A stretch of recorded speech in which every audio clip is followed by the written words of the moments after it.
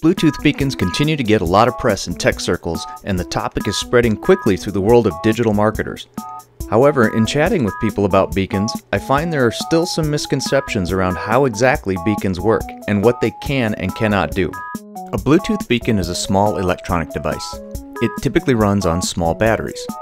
Since we first started hearing about these guys last summer at the Apple Worldwide Developers Conference, a dozen or more different beacon brands have popped up and the devices come in all sorts of shapes and sizes.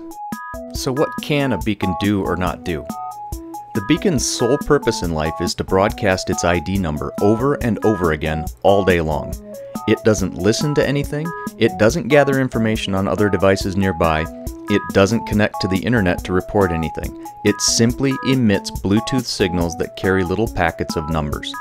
The IDs or numbers beacons emit can be picked up by any Bluetooth enabled mobile devices within range of the beacon's Bluetooth radio signals. However, unless the mobile devices near a beacon have Bluetooth enabled and they have an app that cares about beacons, the signals from the beacons will go unnoticed. The key thing to remember is that a standard Bluetooth beacon will only yammer on and on about itself and do absolutely nothing else. So what can you do with a beacon? For a beacon to be useful, you need a mobile device with a beacon-enabled app. If a mobile device passes within range of one or more beacons and the device's Bluetooth features are switched on, the device can listen in on the signals from those nearby beacons and gather their IDs. But like stated before, in order to do something useful with those beacon IDs, the mobile device needs an app that is capable of responding to those beacon IDs. Just to be clear, without a beacon enabled app, mobile devices will ignore the signals from any nearby Bluetooth beacons. With a proper beacon enabled app and Bluetooth running on our mobile device, we can do a lot of cool things with this technology. The big one everyone is all giddy about is microlocation. The idea around this is that if your mobile device can see a number of beacons and determine how far away it is from each of them, it should be able to calculate its location with reasonable accuracy. It's the same concept as GPS and, in fact, is meant to replace GPS indoors where GPS signals do not typically reach. The core use for beacons, of course, is simply for proximity.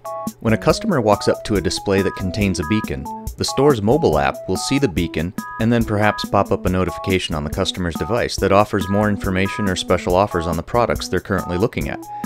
It can happen in real time and it makes the in-store experience seem more interactive. Hopefully now you can see that without an app, a beacon is useless. Also, you should now know that beacons don't spy on nearby phones. They don't control things.